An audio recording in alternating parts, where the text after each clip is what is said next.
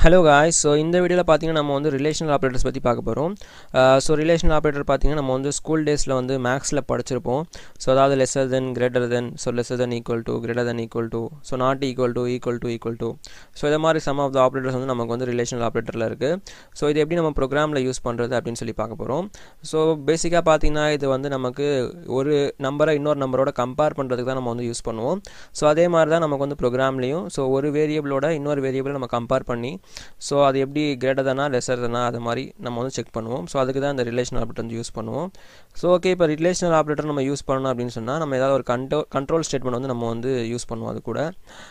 So control statement அப்படின்னு பார்த்தீங்கன்னா இது மாதிரி இஃப் லூப்பு ஸோ அதே மாதிரி சுவிட்ச் case so go to break இது மாதிரி நமக்கு வந்து நிறையா கண்ட்ரோல் ஸ்டேட்மெண்ட் இருக்குது ஸோ அந்த கண்ட்ரோல் ஸ்டேட்மெண்ட்டில் நம்ம ஏதாவது ஒன்று யூஸ் பண்ணுவோம். ஸோ இப்போ பார்த்தீங்கன்னா வந்து இஃப் வந்து யூஸ் பண்ண போகிறேன் ஸோ அதுக்கு முன்னாடி கண்ட்ரோல் ஸ்டேட்மெண்ட் அப்படின்னா என்ன அப்படின்னு பார்த்தீங்கன்னா ஸோ நம்மளுடைய நம்மளுடைய ப்ரோக்ராம் என்ன செய்யணும்னு சொன்னால் அது வந்து கண்ட்ரோல் பண்ணும்.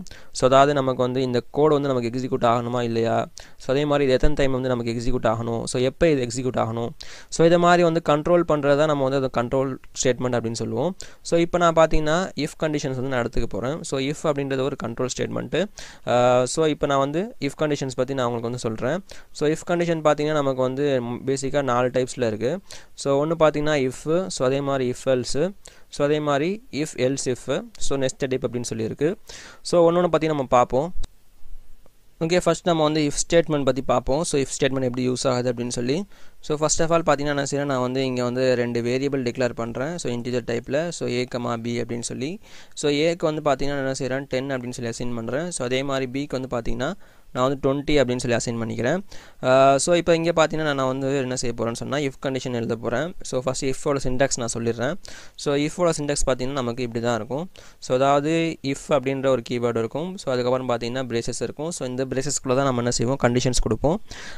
ஸோ அதே மாதிரி இது வந்து பார்த்திங்கன்னா நம்மளுடைய பிளாக் ஆஃப் கோட் ஸோ இந்த கண்டிஷன் நமக்கு ட்ரூவாக இருந்துச்சு அப்படின்னு சொன்னால் நமக்கு இந்த கோட் வந்து எக்ஸிக்யூட் ஆகும். ஸோ அதாவது இந்த பிளாக்ல இருக்க கோட் நமக்கு எக்ஸிக்யூட் ஆகும். அப்படி இந்த கண்டிஷன் நமக்கு ஃபால்ஸாக இருந்துச்சு அப்படின்னு சொன்னால் நமக்கு இந்த பிளாக் ஆஃப் கோட் நமக்கு எக்ஸிக்யூட் ஆகாது. ஸோ இப்போ நம்ம ஏதாவது ஒரு கண்டிஷன் கொடுப்போம். ஸோ இப்போ பார்த்தீங்கன்னா நான் ஏ லெஸ்ஸர் தென் பி அப்படின்னு சொல்லி கொடுக்குறேன்.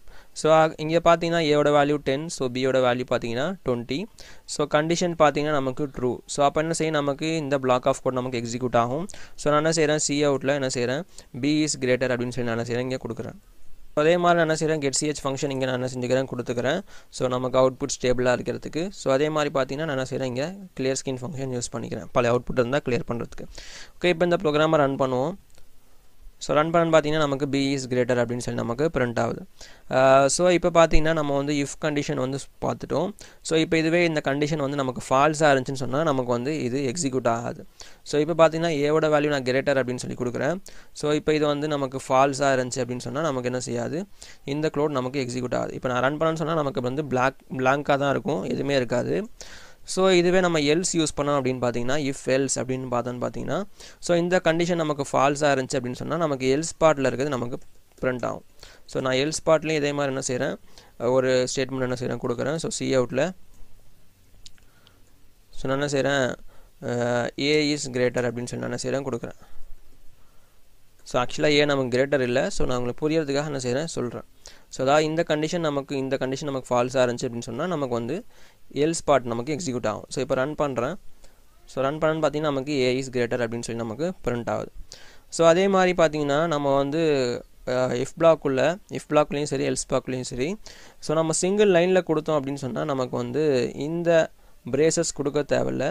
ஸோ நம்ம வந்து சிங்கிள் லைனில் கொடுத்தா இந்த பிரிஸ் நமக்கு வந்து செய்ய தேவையில்ல? கொடுக்க தேவையில்ல. ஸோ இதுவே நம்ம ரெண்டு மூணு லைன் நம்ம வந்து இதில் ஆட் பண்ணோம்.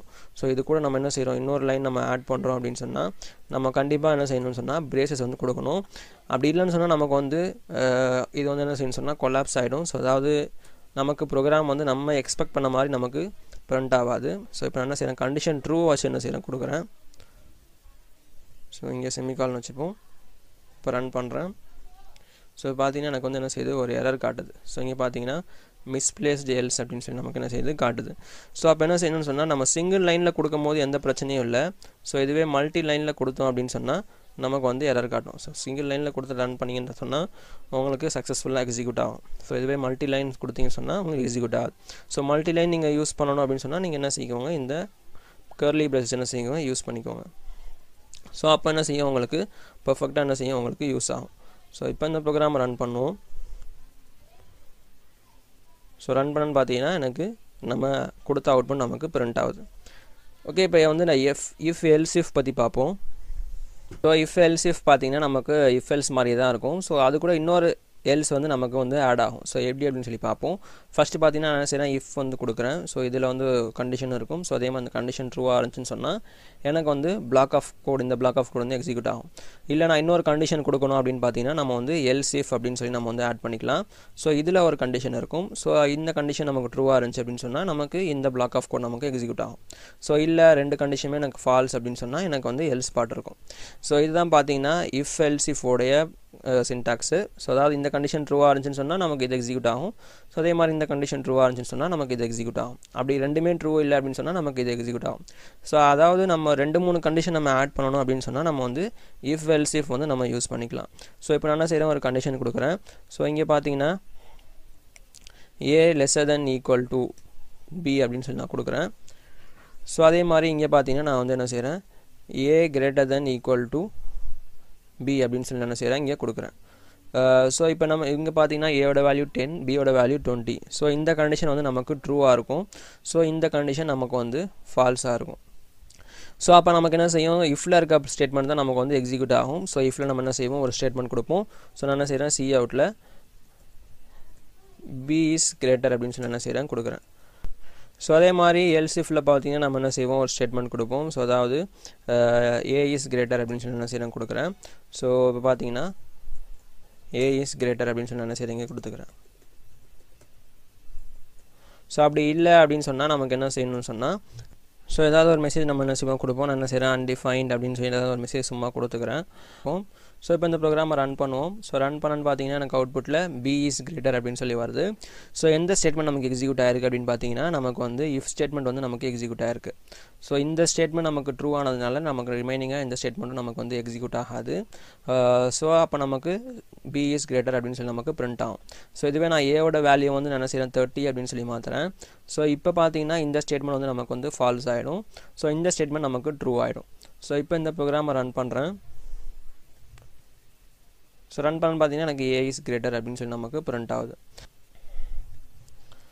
ஸோ அப்படி இந்த ரெண்டு ஸ்டேட்மெண்ட் நமக்கு ட்ரூவாக இல்லை அப்படின்னு சொன்னால் நமக்கு அன்டிஃபைன்ட் அப்படின்னு வரும். ஸோ இதே மாதிரி நம்ம வந்து நிறையா வந்து நம்ம இந்த இஃப் ஸ்டேட்மெண்ட் வந்து நம்ம போட்டு எல்சிஃப் வந்து நம்ம போட்டுக்கலாம். ஸோ இப்போ நமக்கு ரெண்டு மூணு கண்டிஷன் இருக்குது அப்படின்னு சொன்னால் நம்ம வந்து அந்த ஸ்டேட்மெண்ட் வந்து யூஸ் பண்ணிக்கலாம். ஸோ இப்போ பார்த்திங்கன்னா நமக்கு வந்து மார்க்ஸில் வரும். ஸோ இப்போ நம்ம வந்து நைன்ட்டிக்கு மேலே எடுத்திருந்தா நமக்கு வந்து ஏ ப்ளஸ் அதே மாதிரி நைன்ட்டி எயிட்டிக்கு மேலே எடுத்திருந்தா ஏ அதே மாதிரி எயிட் செவன்ட்டிக்கு மேலே எடுத்திருந்தால் நமக்கு வந்து இது மாதிரி பி அப்படின்னு சொல்லி நமக்கு போயிட்டே இருக்கும். ஸோ அப்போ நம்ம வந்து எல்சிஃப் வந்து நம்ம யூஸ் பண்ணிக்கலாம். Uh, ஸோ அது மாதிரி இடத்துல வந்து நம்ம இந்த எல்சிஃப் வந்து யூஸ் பண்ணுவோம். Uh, ஸோ இப்படி தான் பார்த்திங்கன்னா நம்ம வந்து இஃப் எல்சிஃப் வந்து நம்ம யூஸ் பண்ணுவோம். ஸோ இப்போ நம்ம வந்து நெஸ்டட் இஃப் வந்து பார்க்கலாம். எப்படி யூஸ் பண்ணுறது அப்படின்னு சொல்லி. ஓகே இப்போ நெஸ்டட் இஃப் பற்றி பார்ப்போம். ஸோ அதாவது நெஸ்டட் இஃப் அப்படின்னு பார்த்தீங்கன்னா ஒரு எஃப் ஸ்டேட்மெண்ட்குள்ளே இன்னொரு இஃப் வந்து யூஸ் பண்ணுறதை நம்ம வந்து நெஸ்டட் இஃப் அப்படின்னு சொல்லுவோம். ஸோ எப்படி யூஸ் பண்ணுறது அப்படின்னு சொல்லி பார்க்கலாம். நான் ஃபஸ்ட் ஆஃப் ஆல் பார்த்தீங்கன்னா என்ன செய்கிறேன் ஒரு வேரியபிள் டிக்ளேர் பண்ணுறேன் ஏ அப்படின்னு சொல்லி ஸோ ஏவோட வேல்யூ பார்த்தீங்கன்னா என்ன செய்கிறேன் எயிட்டி அப்படின்னு சொல்லி என்ன செய்கிறேன் கொடுக்குறேன். ஸோ இப்போ பார்த்தீங்கன்னா என்ன செய்கிறேன்னு சொன்னால் இப்போ நான் வந்து இஃப் ஸ்டேட்மெண்ட் வந்து கொடுக்குறேன். ஸோ இந்த இஃப்குள்ள ஒரு கண்டிஷன் இருக்கும். ஸோ இந்த கண்டிஷன் பார்த்தீங்கன்னா ட்ரூ ஆனிச்சுன்னு சொன்னால் எனக்கு இந்த ஸ்டேட்மெண்ட் எக்ஸிக்யூட் ஆகும். ஸோ இப்போ நான் இதுக்குள்ளே என்ன செய்கிறேன் இன்னொரு இஃப் ஸ்டேட்மெண்ட் என்ன செய்கிறேன் கொடுக்குறேன். ஸோ அதாவது இஃப் ஸோ இதுக்குள்ளே பார்த்தீங்கன்னா இன்னொரு கண்டிஷன் நான் என்ன செய்கிறேன் இதுக்குள்ளே கொடுக்குறேன். ஸோ இப்போ பார்த்தீங்கன்னா நான் என்ன செய்கிறேன்னு சொன்னால் இப்போ என்ன செய்கிறேன் a equal to equal to eighty அப்படின்னு சொல்லி கொடுக்குறேன். ஸோ ரெண்டுமே ட்ரூவாக இருந்துச்சு அப்படின்னு சொன்னால் நமக்கு என்ன செய்யும்? உள்ளே போகும். இல்லைன்னு சொன்னால் நமக்கு உள்ளே போகாது. ஸோ இப்போ இந்த இஃபுக்குள்ளே a not equal to ninety அப்படின்னு சொல்லி நான் செய்கிறேன் கொடுக்குறேன். ஸோ அப்போ நாட் ஈக்குவல் டு அப்படின்னு சொன்னால் இது ரெண்டும் சேமாக இருக்கக்கூடாது அப்படின்னு சொல்லி அர்த்தம். ஸோ இது என்னென்னு சொன்னால் ஏ வந்து எயிட்டிக்கு ஈக்குவலாக இருக்கணும். ஸோ ஏவோட வேல்யூ எயிட்டி ஸோ அதனால் ரெண்டுமே ட்ரூ ஸோ அதனால் ரெண்டுமே சேம் ஸோ அப்போ என்ன செய்யும்? இந்த கண்டிஷன் வந்து ட்ரூ ஸோ அப்போ என்ன செய்யும்? இந்த கண்டிஷன் உள்ளே போகும். ஸோ அதே மாதிரி இந்த கண்டிஷனில் பார்த்தீங்கன்னா என்ன செய்கிறேன்னு சொன்னால் a not equal to ninety so ஏவோட வேல்யூ நைன் எயிட்டி ஸோ இங்கே நான் கொடுத்ததுக்கு பார்த்தீங்கன்னா நைன்ட்டி ஸோ ரெண்டுமே பார்த்தீங்கன்னா சேம் இல்லை அப்படின்னு சொல்லி இந்த இந்த கண்டிஷன் நமக்கு பண்ணும். ஸோ அப்போ பார்த்தீங்கன்னா நமக்கு இந்த கண்டிஷன் வந்து நமக்கு ட்ரூ வந்து நமக்கு கொடுக்கும்.